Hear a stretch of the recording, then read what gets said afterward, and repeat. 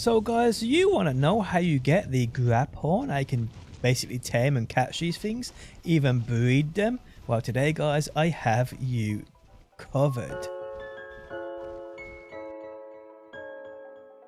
So the Graphorn is one magical beast. I mean, look at the size of this dude.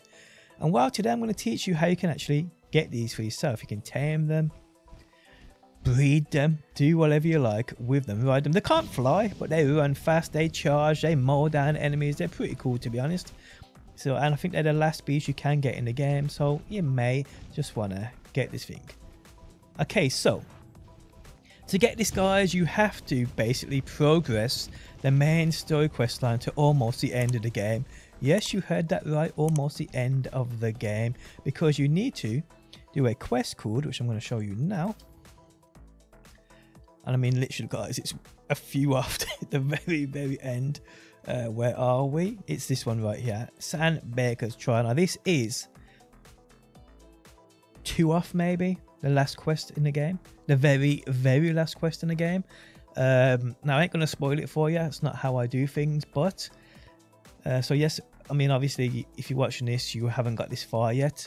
But when you get this far, you'll come into uh, the instance of actually having to go and get one of these Graphorns to basically help you on this mission. Uh, but from that moment forward, once you've done that and progressed past this mission, guys, you can then go to tame these beasts. And they are located right here on the map.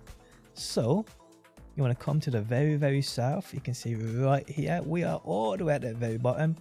And you want to come down here. There's the, uh, the taming pen. That is a taming pen. So, what I want to do guys here is to tame these and well to make it very easy on yourself. Obviously use the Floo Flame or a close Floo Flame you have. Fly down to the uh, the pen and as I do on screen now land on the rock. Don't land on the floor next to it because you have to actually fight these things. You have to take these things out before you can capture them with your knapsack. So yeah it's a bit wild this one now if you don't know how to catch beasts you're literally watching this video wondering about how you catch beasts uh, there's a side quest you have to do. It starts with the room of requirement for Professor Weasley. You progress that, and as you progress the main story, then you'll start opening up quests for Deek.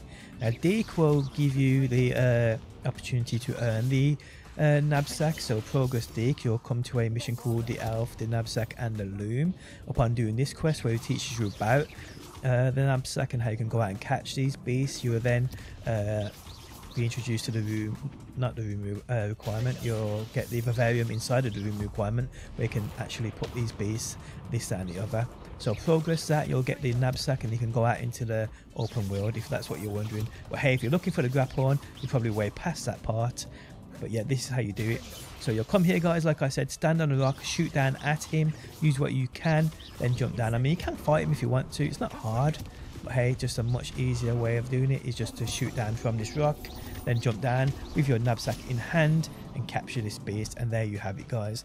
Take it back to your vivarium, breed this little fella, do what you want to do with it. But yes, guys, that's how you get the Graphorn, the very last uh, beast you can get in the game.